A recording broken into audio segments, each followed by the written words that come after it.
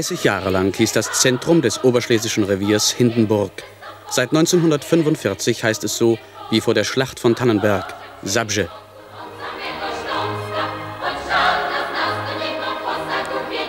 Sabje zählt heute rund 200.000 Einwohner. Es lebt von der Kohle, aber von Kohlenkrise ist hier nichts zu spüren. In acht Schachtanlagen der Stadt arbeiten über 40.000 Kumpel. Mit 47 Großbetrieben ist Sabje, einst Hindenburg, das industrielle Zentrum Oberschlesiens und für die Industrialisierung des Agrarlandes Polen unersetzlich.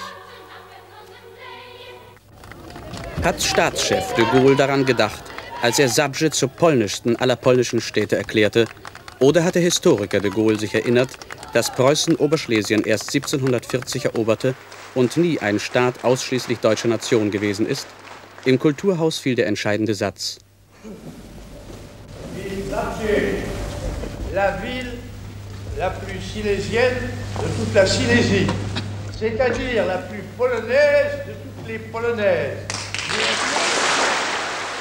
Zu Deutsch, es lebe Zabrze, die schlesischste aller schlesischen Städte und darum die polnischste aller polnischen. Seine polnischen Gastgeber waren begeistert, seine westdeutschen Partner konsterniert. Die empörte öffentliche Meinung der Bundesrepublik sprach von Geschichtsklitterung und forderte eine offizielle Demarche in Paris. Der Besuch in Sabje drohte zu einer weiteren Belastung der deutsch-französischen Freundschaft zu werden.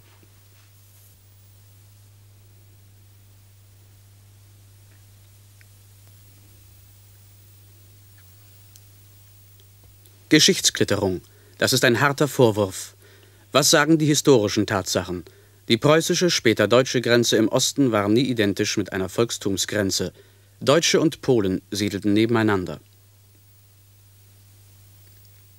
Vor rund 650 Jahren wird das spätere Hindenburg erstmals erwähnt als Zabrze, was von dem polnischen Zabrzegiem kommt und so viel heißt wie hinter dem Fluss. Ein gewiss unverdächtiges deutsches Nachschlagewerk, Neumanns Orts- und Verkehrslexikon des Deutschen Reiches aus dem Jahre 1905 weist über Sabje aus. Von 115.609 Einwohnern waren um die Jahrhundertwende 79.416 Personen polnischer Muttersprache, das heißt mehr als zwei Drittel, genauer 68,7 Prozent der Bevölkerung des Kreises Sabje waren Polen.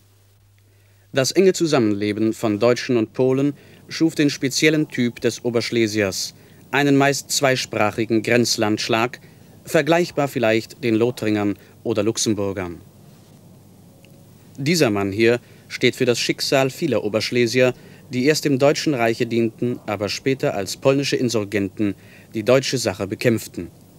Ich bin der hier bekannte Vincent Gabel, ich bin 71 Jahre alt, gebürtiger Oberschlesier. Meine Heimat war hier ein Vorort, Sabse.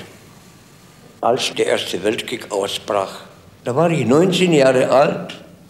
Als hochwüchsiger Bursche wurde ich zur Garde ausgehoben und diente in Berlin in einem Garderegiment zu Fuß. Im Ersten Weltkrieg preußischer Gardesoldat, im Zweiten Weltkrieg polnischer Offizier. Zwischen den Kriegen Grenzlandkämpfe. Die Agitation für ein polnisches Oberschlesien hatte schon im Kriege begonnen, vor allem unter der polnischen Arbeiterschaft.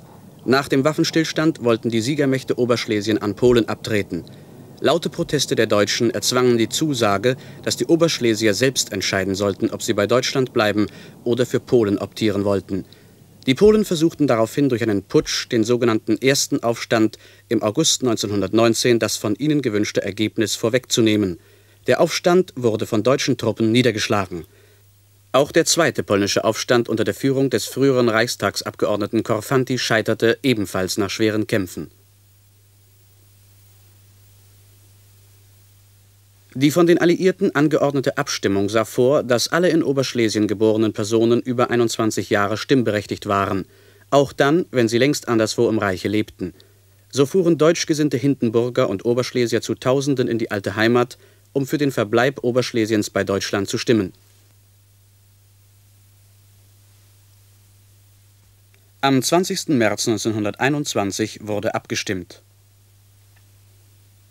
Das Wahlresultat von Hindenburg. Von 88.605 Wahlberechtigten wählten 45.222 Deutsch, 43.282 Polnisch, das heißt 51 Prozent stimmten für Deutschland, 49 Prozent für Polen.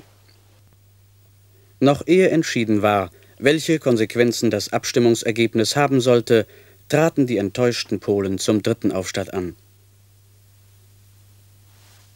Am 3. Mai 1921 wurde Hindenburg von Insurgenten besetzt. Nach einigen Anfangserfolgen wurden die polnischen Aufständischen schließlich von deutschen Freikorps und deutschen Selbstschutz wie Grenzschutzverbänden in schweren Kämpfen am Annaberg zurückgeworfen. Nur das Dazwischentreten französischer Einheiten verhinderte die Fortsetzung des Kampfes und die totale polnische Niederlage. Denn die Franzosen stellten das stärkste Kontingent einer interalliierten Streitmacht, die unter Anleitung einer internationalen Kommission den reibungslosen und friedlichen Ablauf der Volksabstimmung garantieren sollte. Die Italiener und Engländer, die ebenfalls Truppen stellten, sympathisierten mit den Deutschen.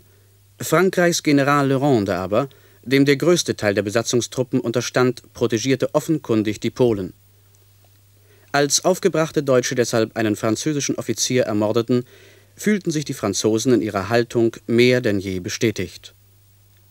Am 15. Juni 1922 wurde nach einer Empfehlung des Völkerbunds Oberschlesien entsprechend den Abstimmungsergebnissen geteilt. Ostoberschlesien fiel an Polen.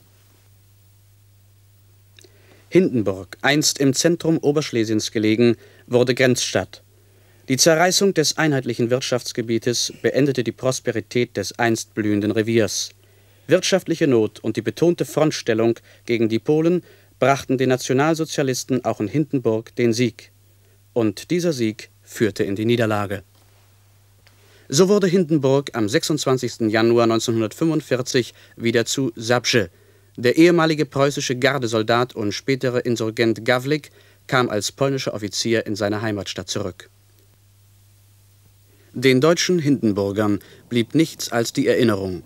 Essen, das Zentrum des Ruhrgebiets, übernahm die Patenschaft für Hindenburg. Wertvollste Erinnerungsstücke im Essener Stadtarchiv sind Bilder aus der verlorenen Heimat, ein paar alte Stiche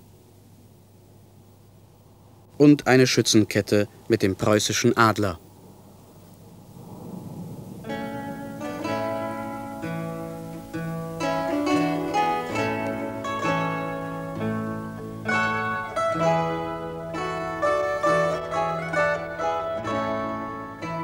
Einige Fotos, von den Hindenburgern liebevoll in ein Album geklebt, wurden der Patenstadt Essen geschenkt.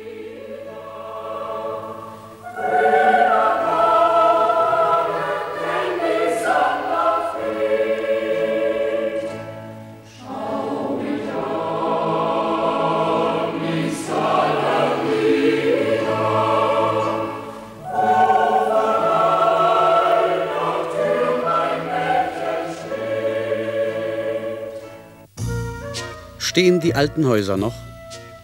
Halina, eine in Zabrze geborene Polin, führte uns durch die Stadt.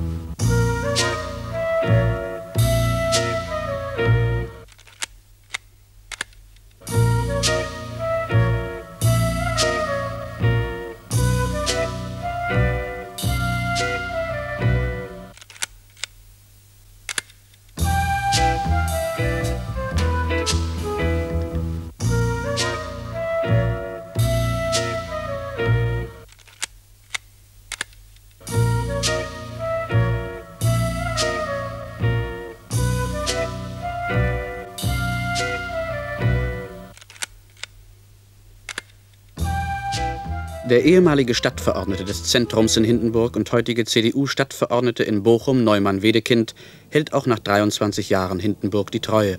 Es ist das durchaus natürliche Recht eines jeden Menschen, dass er sich mit dem Ort und mit der Gegend verbunden fühlt, in der er geboren und aufgewachsen ist, in der er seine Existenz gegründet und seine Familie geschaffen hat. Dies gilt ganz besonders für unsere oberschlesische Heimat, im Hinblick auf die Volksabstimmung vom 20. März 1921.